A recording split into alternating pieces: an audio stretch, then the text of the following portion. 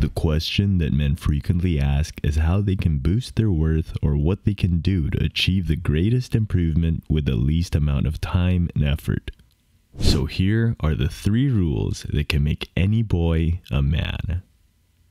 Number one, attentiveness. The majority of guys are unaware of the worth of their own attention, which has become the new currency since the advent of the internet. Nowadays, social media makes it simpler than ever for girls to get the attention and affirmation they crave from the tens of millions of men who willfully give it to them without a second thought. Men simply aren't aware of the value of their own attention. It's actually what women use and what makes them so attractive. What matters is how much attention, or how little, they're willing to provide. You see, men always look for affirmation from women because it makes us feel great. However, the reason we crave approval and attention is more significant since it's physically built into our DNA or into our mating strategy. So it feels great when we finally receive some attention from a girl or some form of validation. However, unlike the majority of men on earth, ladies do not readily give out their attention.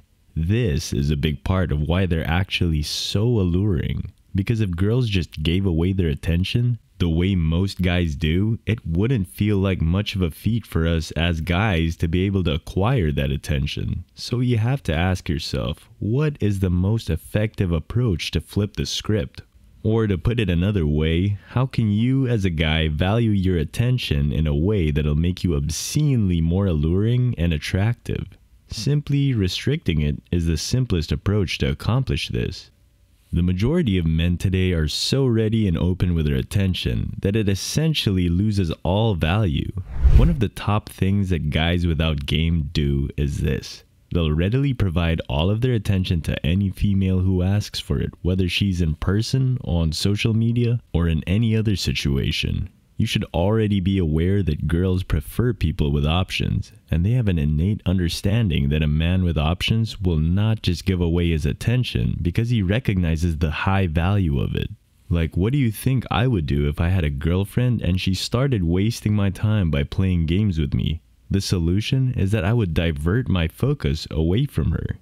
You guys need to understand that attention is essentially a drug for women, and that women are far more naturally programmed to adore and crave attention than men are. So, when you limit your attention or when you value it by withholding it when necessary, you're doing something that most guys either can't do or aren't even aware of how to do. Let's take an example men who women perceive as players Everybody does it. They're all aware of the importance of their attention and how to be selective with it. You know, it'll be simpler to naturally value your attention the more you guys pursue your objective. But to appreciate your attention, you don't have to be overly busy or lead an outrageously cool lifestyle. There are so many unavailable men and men with poor value in the world. They all lack understanding of the genuine significance of their attention, which unites these men. They lack the knowledge necessary to make that attention rare. What a lot of guys don't realize is that when girls do this, they constantly limit their focus. What, in your opinion, do most men do? The majority of guys will start messaging girls back and will pursue them more aggressively than they did before their attention was constrained. Therefore, if they can stop doing this, if they can recognize the worth of their attention and know when to limit it, it'll significantly improve your game and make you appear more desirable to women. Number 2. Novelty. Another facet of the game is novelty, which is essentially just a fancy way of saying stand out.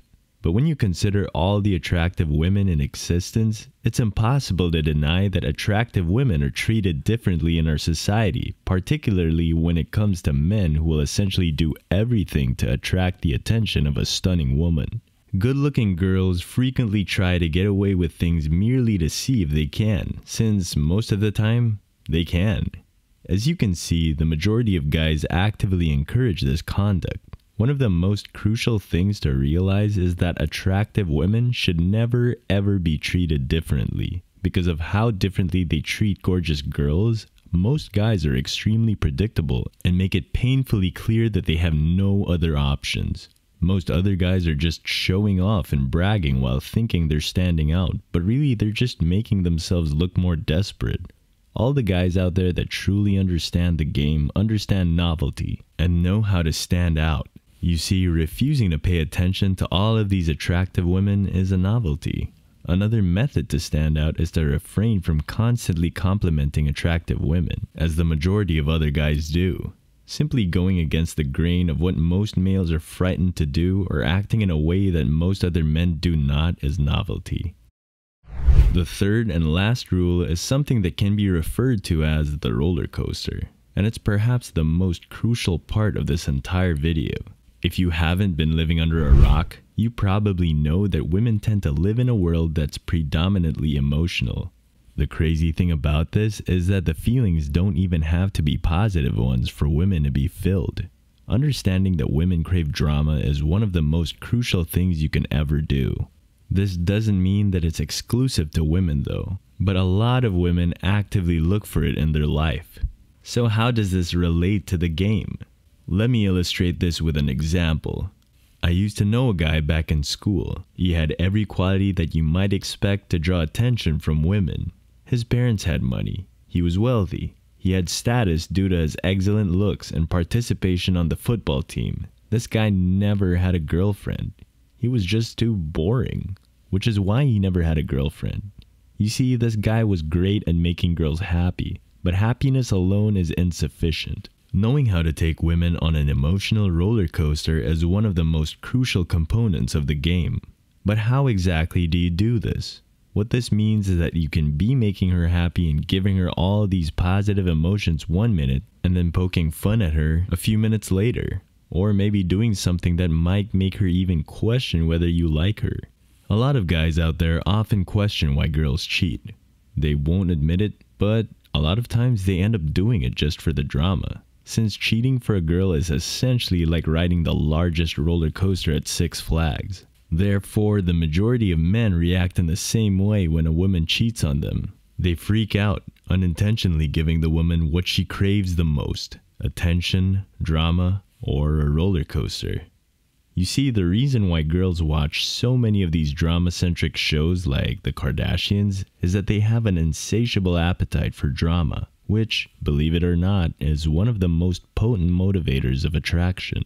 Observe how all the girls out there chase the playboys, not because they're decent guys who know how to treat women well, but rather because they're men who can take women on an endless roller coaster ride. There are a lot of guys out there right now who have everything that should make them appealing and make them a really excellent catch, yet they still struggle to pique the interest of women. So you might be wondering, why?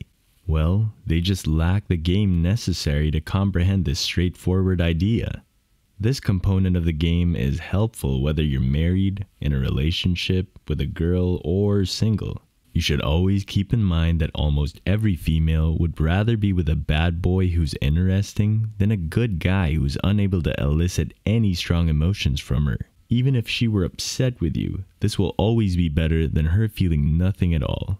You'll obviously be better at your game if you're one of those individuals who can spike their emotions up and down almost at a whim you'll automatically be able to do things that roughly 90% of men are either unable to do or aren't even aware how to do.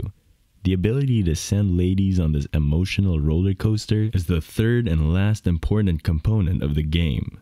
So, what do you guys think? What are other rules that could make any boy into a man? Let us know in the comments section below, and don't forget to like, subscribe, and hit the bell icon so you don't miss out on any future videos. See you next time.